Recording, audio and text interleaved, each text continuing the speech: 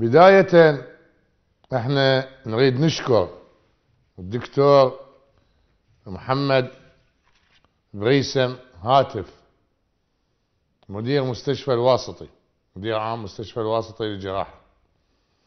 حقيقة اتصلوا بينا اليوم الأخ عدي الجابري الإعلامي في مستشفى الواسطي. اتصلوا بينا وقالوا لنا خبرونا انه استقبلوا هاي الطفلة نرجس واللي هسه حتشوفون المناشدة مالت أبوها. خلينا نشوفها هاي.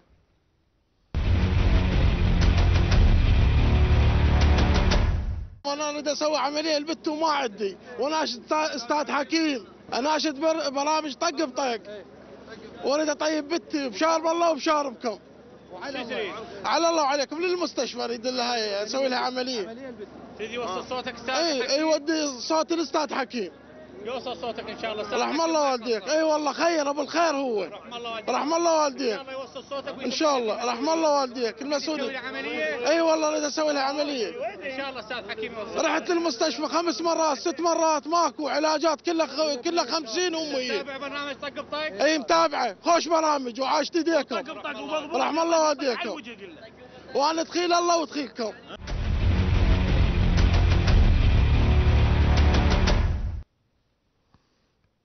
فالدكتور محمد بريسم هاتف مدير عام مستشفى الواسطي اهتم بالموضوع وأرسل على الطفلة والطفلة راحت معية أبوها. ودز على دكتور أثير برهان الدين. ودا يقوم الآن بعملية الفحوصات ودا يتابع هذا الموضوع. دكتور محمد بريسم هاتف فمشكور مدير عام مستشفى الدكتور محمد بريسة وأيضا مشكور الدكتور أثير برهان الدين ومشكورين يا كادر مستشفى الواسطي. وعلى ذكر هاي الحالة بالمعكوس بالحالة المعكوسة باع هاكم مريض مصاب بفلاونزا خنازير. جايبيه من المستشفى بالطوارئ وخلوه ويا المرضى مال الطوارئ. فقط اللي لبسوا الكمامات هم الكادر الطبي والمرضى ما لبسوهم كمامات على ما عندنا هذا الحكي ما يصير. مستشفى الشيخ زايد هذا الحكي مو صحيح. هذا الحكي كان المفروض هيك حالة تنقل إلى مكانات معزولة حالة إحنا ندري صارت اكو تقريبا 15 إصابة بعموم العراق بهاي. اليوم ظهرت البارحة ظهرت ببغداد. ودخلت ويا الطوارئ ويا الناس يدخلون للطوارئ. وهذول احتمال يكون قد أصيبوا أو إصابتهم العدوى. فهذا الإجراء غير صحيح. وهذا الإجراء مو صحيح وهذا الإجراء يؤذي المواطن العراقي. وأطالب كل المستشفيات أنه تتخذ الإجراءات الوقائية الصحية الصحيحة. لأن إحنا يعني ما عايزين أنه نتمرض بعد وما عايزين بعد يصير بينا ما يصير بينا. خاصة أيضا أناشد نقابة الأطباء للتدخل في حسم أو تحديد سعر أجور الكشف للطبيب الفحص. لأن هاي الأسعار عالية. وهذول أطباء مهمتهم الأولى هي مهمة إنسانية. الربح أو الثراء على حساب المرضى العراقيين مو صحيح. فأطالب نقيب الأطباء العراقيين بالتدخل بهذا الموضوع. ووضع وضع تسعيرة للفحص. هاي التسعيرة اليوم اليوم إذا كنت أقول 25 و30 لا. وصلت 75 75 ألف. يعني الفقير ما يقدر يطيب. وين يتعالج؟ إخوان هذا مو صحيح. نقابة الاطباء سيد نقيب الأطباء العراقيين. انتبهوا لهاي الحالة. أيضا نقابة الصيادلة. نقابة الصيادلة اطالبها أن تدعو الصيادلة إلى تحديد اجور ربح رمزي.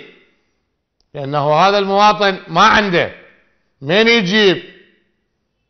ما عنده. من يجيب؟ شوية خلوا الله بين عيونكم. أنتم تقومون بخدمة إنسانية. هاي الخدمات الإنسانية ما المفروض انت أصلا يعني الأجر اللي تاخذه رمزي انت ملاك رحمة. انت الإنسان يعني أقسمت على أداء وظيفتك أو مهنتك بشرف. هذا ما يصير. هي دعوة نقابة الأطباء ونقابة الصيادلة بأن تحدد أسعار خاصة بأجور فحص الأطباء بالأخص الاختصاص.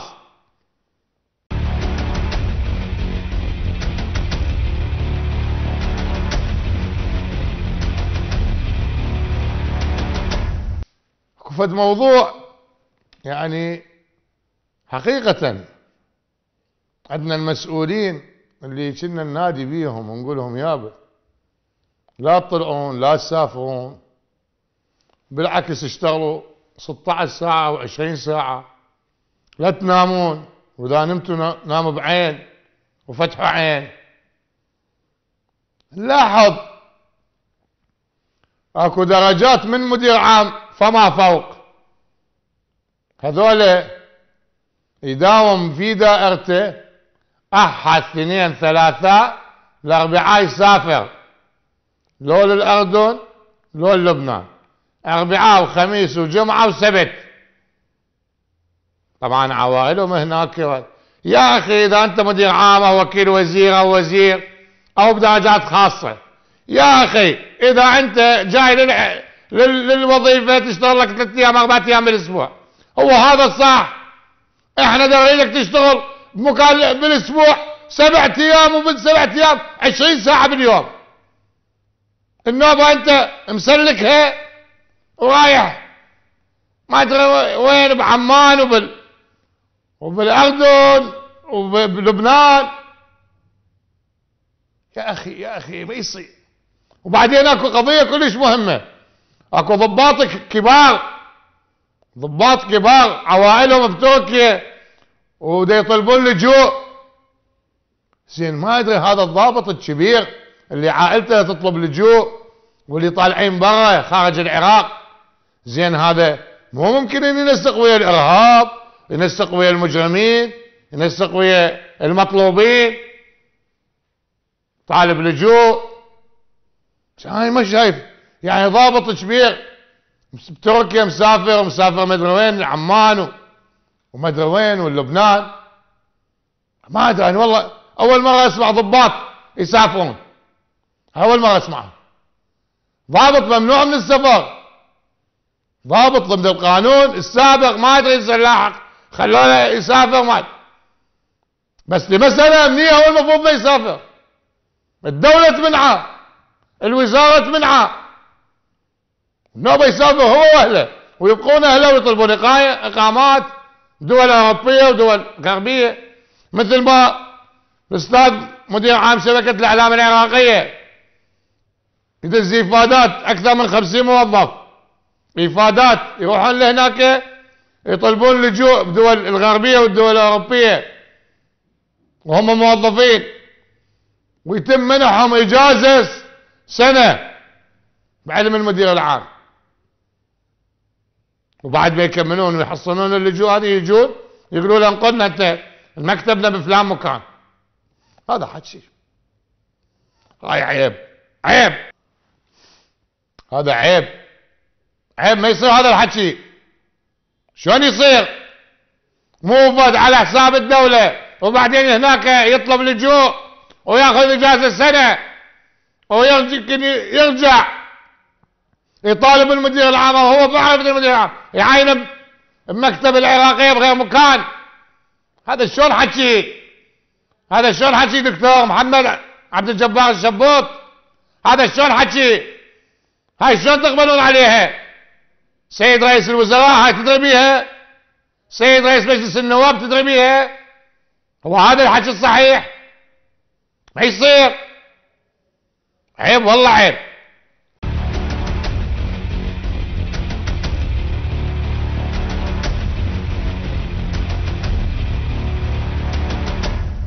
عندنا عودة الموضوع مهم جدا. وصلتنا ملفات فساد مالية كبيرة. في المصارف الحكومية والمصارف الأهلية. راح ننشرها. بس بعد ما نجمع كل الخيوط. وهاي الخيوط بها رؤوس رؤوس كبار. وعلى ذكر هذا الموضوع هيئة التقاعد. هيئة التقاعد قاعد تأخر تقاعد المتقاعدين. أولا هم كبار بالسن. وراهم إيجارات. وراهم أبو خط المولدة. وراهم هو طبيب. لأنه تدري أغلبهم عندهم هاي الأمراض المزمنة. زين يعني ما فكرتوا يا هيئة التقاعد يا مصارف يا مدري منو. مسؤول على عملية صرف رواتب تأخروهم خمس ست أيام بالشهر ليش؟ أو سبعة أو عشرة. حجج واهية. هذول تقاعد موجود عندهم. صوفوا لهم إياه بالوقت المحدد وانتهى قولوا له أنت تاخذ تقاعد بهذا اليوم.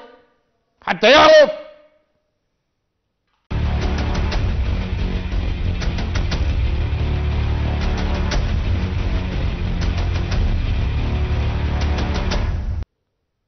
عندنا قسم من منتسبي الجيش العراقي في مناطق ساخنة.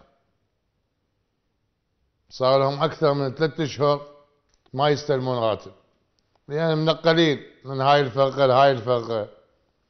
ولحد الآن هذول الأبطال الجيش العراقي ما مستلمين راتب. وعندنا بالفرقة السابعة بقاعدة عين الأسد. الأسلحة اللي موجودة بالقاعدة ما توازي أو ما تقدر تجابه الأسلحة اللي عند الإرهاب. عند عصابات فاحش. وهذا الخلل خلل بالتجهيز. خلل بالتجهيز. وهذا المفروض ما له علاقة بالميزانية والموازنة لأن هذا تجهيز سابق المفروض. الأنبوبة مال الهاون إيرانية الصنع الصنع العفو أمريكية الصنع. القنبلة إيرانية. هاي مترهم على هاي يصير هذا الحكي. بعدين إخوان في وزارة الدفاع ليش ما تعيدون العمل في عملية التصنيع العسكري؟ إحنا دا نجابه عدو. محتاجين هذول رجال التصنيع العسكري إن نعيدهم حتى يصنعونا. يصنعونا على الأقل العتاد. وهم ما شاء الله كانوا تاخسين الجبهة بالسلاح سلاح والعتاد يعني ليش ما ترجعون الأشخاص اللي من الممكن أن يكونون آه، دعم للأجهزة الأمنية والأجهزة القوات المسلحة. هذول التصنيع العسكري هذول كلهم خبرة. رجعهم. يعني قنبره الهاون مكان ما استوردها يصنعها وانتهى الموضوع. حتى حتى الأسلحة حتى الرصاص. قسم كثير من العتاد فاسد. تم استيراده وهو فاسد. طبعا بصفقات أسلحة مشبوهة. يا أخي رجع ذولا هسه إحنا ما بوقت يعني ما وقت إن نبوق. ما عد ماكو بعد شيء يعني تبوقه تأذي. يعني رجع ذولا. رجع ذولا حسب يطلع عندنا فلوس برا. رجعهم ذولا وأصرف لهم رواتب وارجعهم اشغلهم يعني أحسن من ما استورد سلاح وعتاد. عندي الإمكانية إنه أصنع. أصنع. وإحنا بثمانينات القرن الماضي كنا نصنع. ليش ما نرجع نصنع؟ وعلى ذكر التصنيع. وين معاملك يا وزير الصناعة؟ ليش ما تعيد تأهيلها ليش ما تعيدون تأهيل المعامل؟ ليش معاملك واقفة ليش ماكو خطة للإنتاج المحلي وتدعمه؟ تدعمه وزارة التجارة وتدعمه الزراعة. يا أخوان شغلوا هاي المعامل. هاي المعامل همنا تخدم البلد من الناحية الاقتصادية وتخدم البلد إنه الشغلة هذه عاملة. مو هي هالشكل